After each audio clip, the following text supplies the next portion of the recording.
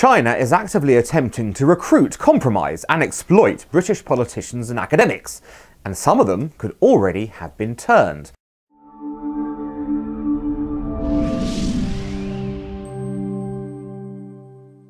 That's the hard reality of an extraordinary report this week that MI5 are aware of 10,000 attempts to recruit British nationals with access to sensitive information launched over just one platform, LinkedIn alone. With this number of attempts recorded, it is impossible that none of them have resulted in people getting caught up in the Chinese Communist Party's plans. I would know. A year ago, four HJS staff received exactly these messages on LinkedIn.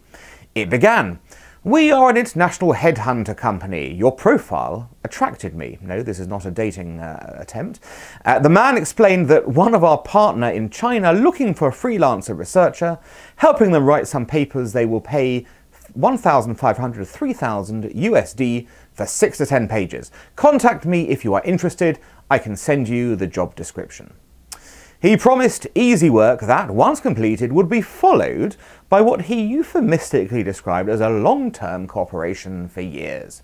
He went on to clarify that a face-to-face interview in China would be required, but not to fear as the company will pay the travel fee, including air tickets, hotel, meals, and other related costs. $3,000 and an all expenses paid trip to China for a couple of days' work was beginning to sound too good to be true. It was.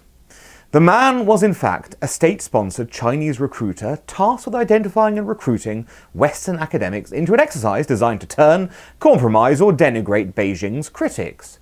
It was nothing more than a shoddily executed attempt at every intelligence agency's textbook method for compromising those assumed to wield some influence.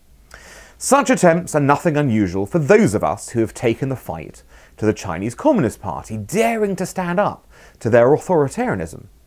In recent years, we've been warned by Microsoft of state-directed hacking attempts on our email server, seen a number of laptops stolen in suspicious circumstances, our website has faced thousands of brute force hacking attempts, and our events in Parliament have been monitored by Chinese diplomats, who in turn have summoned us for formal rebukes for our unreliable, discreditable, and unhelpful research.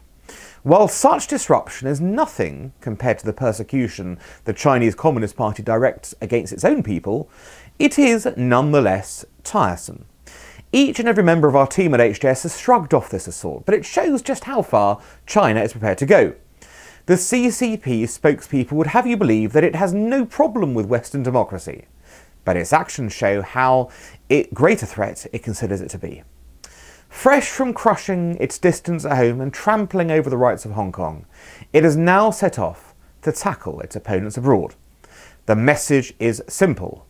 Enemies of the party, no matter where you are, beware. And the frequency of attempts at interference is likely to increase. Just as Hong Kong's growing democratic opposition to the Communist Party preceded an assault on its freedoms, we can expect the same here. We'll continue to fight for the values that we believe in at HJS. If our experience is anything to go by, though, our democracy is under assault. We can but hope that others similarly targeted in the West are savvy and brave enough to rebuff China as we have.